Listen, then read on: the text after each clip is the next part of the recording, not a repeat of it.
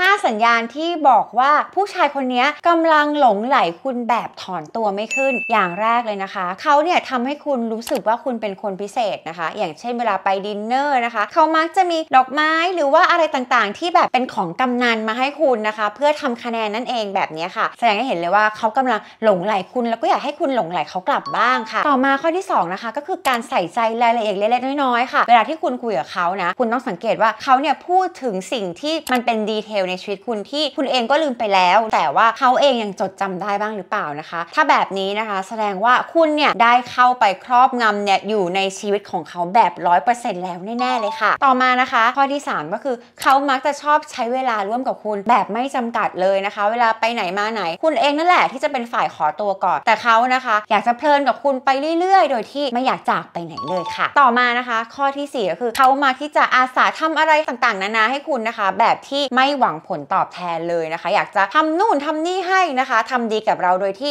ไม่ได้คาดหวังว่าเราจะต้องให้อะไรกับเขานะต่อมานะคะ ข้อสุดท้ายก็คือเขาให้ความสำคัญกับคุณเสมอ ไม่ว่าเขาจะยุ่งงานหรืออะไรก็ตามแต่นะคะ คุณต้องการเขาในเวลาไหนนะคะ เขาก็จะสามารถมาหาคุณได้ในทันทีทันใดโดยที่ไม่มีข้อแม้สักข้อเลยค่ะ 5 ข้อนี้นะคะ ลองเช็คดูค่ะว่า คุณกำลังมีใครสักคนหนึ่งที่หลงคุณจนโงหวยไม่ขึ้นหรือเปล่าค่ะ